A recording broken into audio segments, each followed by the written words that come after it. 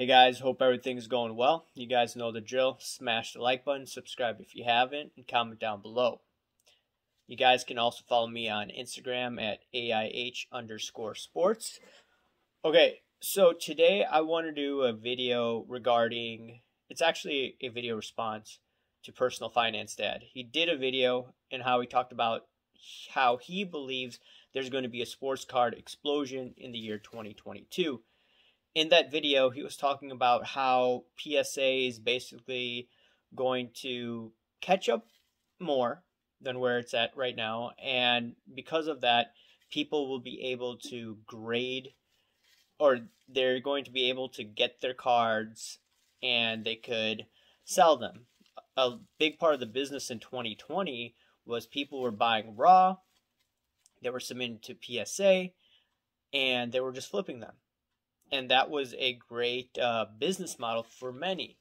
A lot of people they started uh, not to lose money, but they weren't making as much money when PSA shut down, when BGS shut down, and so on. Right now, what's open or the most open is SGC. So you had that phenomenon. He's right, where people were able to arbitrage and make a great amount of money. But last year was really unique. It was unique in the sense that this is the first time in US history where everything basically shut down. People were basically stuck at home, majority of the people, unless they worked maybe at hospitals and whatnot. And a lot of people were working from home last year. And because of that, and because of the fact that you couldn't go to games until maybe later on in the year, some baseball games you could have gone to in Texas. Anyways, everything was shut down. And because everything was shut down, people couldn't bet on sports games. So what they were doing, they were speculating on sports cards. Now things have opened up all throughout the country. Now, in some areas, you can't go to a basketball game depending on your status. But regardless, the country is open and everyone's acting like everything's back to normal. And yes, the flu season is going to be starting soon. Regardless, people are somewhat acting like normal. And I've noticed that many firms are going to now say, okay, you could come into the office three days a week. That's what it's going. Well, that's what's going to happen in the coming months for many companies. Right now, uh, some people are still working at home or they're working a day a week in the office. But that will change.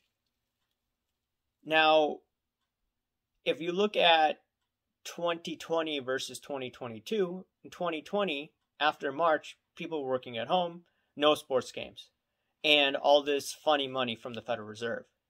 And the money supply increased like crazy then. So you had people taking advantage of the arbitrage with PSA, the low cost of grading, and then also the free money that was given, the stimulus checks. Now, no one's getting stimulus checks for the most part. And on top of it, things are slowly but steadily getting back to normal. And when you see that, it's it's not completely back to normal because uh, there are a lot of people getting fired. For instance, in New York, some doctors are getting fired, some nurses are getting fired uh, because they don't want to take the you know what. And that's the case also at some firms. This is going to happen. So, yes, that is different than 2020. People are getting fired in 2020 because of bad economy. Now it's because of this situation. But regardless, things are opening back up. You can go to stadiums. No one needs to wear a mask outdoors. If you're indoors, then you have to wear a mask. Regardless. So, I'm just looking at one important factor has nothing to do with economics. I'm just looking at the fact things are getting back to normal. If things are getting back to normal, where's where are people going to put their money at? They're going to put their money towards regular goods. They're not going to be speculating to the extent that they were in 2020. Some people are going to that are involved in this hobby, but still not to that extent. And does this mean the whole thing is going to come collapsing down next year? No, I don't think so. I do believe, though, uh, the cards that are going to explode or you're going to have crazy sale prices are the ones that are scarce and the most demand, and you don't see that many auctions of.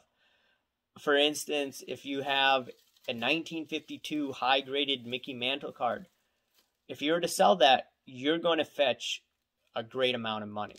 I believe one is already up on Goldin Auctions, and that's going to end next week. I believe the price is $900,000. Someone correct me if I'm wrong. Uh, I see a rare ba- Brady rookie that's going for over a million dollars right now on Goldin Auctions. So cards like that are going to do really, really well. Are they going to explode higher? Probably. I mean, when you have interest rates artificially low, that makes sense. When you have inflation to the extent that we have, yes. Now, is it re- regarding every other card? No, I don't think so.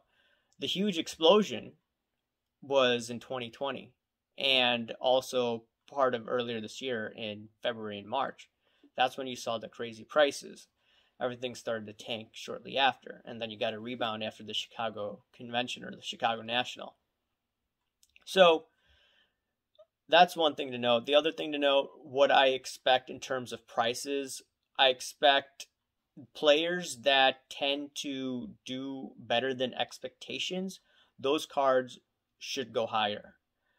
I caught the title of personal finance dad. I haven't looked closely into the prices, uh, but he was saying, I believe it was Josh Allen cards are going higher uh, than Patrick Mahomes cards. Patrick Mahomes cards are going lower because Mahomes isn't doing as well. You have other individuals as Herbert. I believe Herbert cards are going on the rise because he's doing pretty well on the Chargers and he is on my fantasy team that I do, or that I do at work. So there's that about Herbert. So any player that exceeds expectations, those cards are going to be doing pretty well. So that's what I have to say about that. And I know some people are going to disagree here. They're going to be like, "Hey, look, um, you still have the economy, stock market going up. You still have inflation that's out of control. So people got to take their money out of the banking system, take the take it out of the U.S. dollar, and they got to put in the tangibles. They got to put in the collectibles. I understand that, but the big push was last year, and I look at the money supply, and maybe I'll put that graph again in this video after I edit this. But the money supply went crazy last year and in that, the stock market went crazy, sports cards went up like crazy, other asset classes like Bitcoin went up like crazy. Now, are we going to see that throughout the market, throughout all sports cards? No. It's going to be a select few cards that are just going to explode. Other cards should hold steady, could see it appreciate slightly. There are cards, and I've stated before, that I believe over the long term, even if the market crashes in the next few years, I'm looking for maybe cards like Pacquiao. Pacquiao cards could explode if he becomes the prime minister of the Philippines. They have gone up pretty well over the past year, year and a half. But if he becomes president or prime minister of his country, they're going to go up. I bought one autograph card that I showed you the other day there are potentially UFC cards.